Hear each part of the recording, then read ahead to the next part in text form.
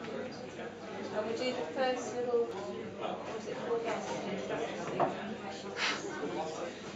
One, two, uh, one, two, three, four.